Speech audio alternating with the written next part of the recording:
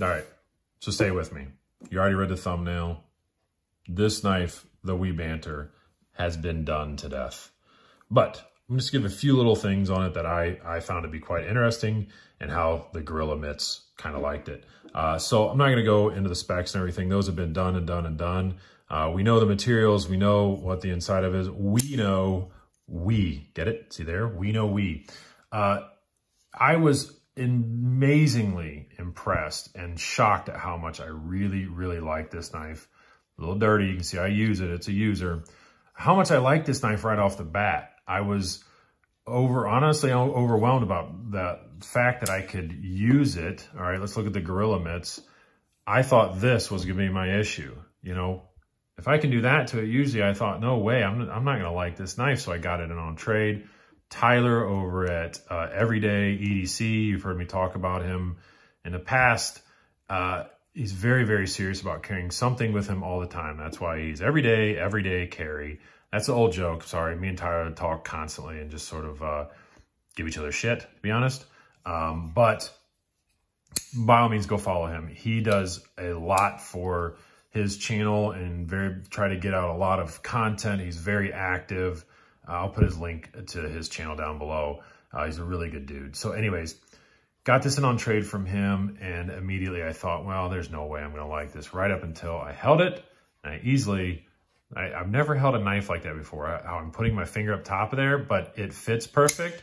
My finger just knows to get out of the way. I don't really know how, but it knows to get out of the way. And it's it's amazing. I give a lot of credit to uh, WE's execution of Ben's design. I think that's a major thing. The, the bearings inside of here are perfect. The detent snap is amazing. I can slow roll it without a problem. Uh, his design is what I always look for as well even though it's not a very big knife, but because this whole thing trails off at the back side of it. And then he probably notched that off as far as what I always worry about, where this comes out to a point and then you get your finger in there. Well, now that leaves a nice little pad for, you know, you get a good three finger grip. That last one can kind of just rest in there and it makes sort of like a little pommel right inside of your hand. You know, it makes a nice little area right there good grip. His, you know, Ben's finger test, we all know that, where you can put your finger right at the tip and make a cut. I completely agree with it. All that works really, really well. So I think my overall thought of this is if you have been on the fence about a banter and you have bigger hands, I, I just don't see that this is an issue. I absolutely love this knife. It became an instant, uh, you know, right in my pocket, uh, keeper. This is going to be a keeper knife. I don't really have a need to get rid of it. Materials are great. Execution's great. The size of it, not a, not a problem. It's a great design. It's a nice, you know, neutral design, which is personally what I like right now. Uh, we can all change. You know, I could also get something big and gnarly like that guy, even though this is overall a neutral design.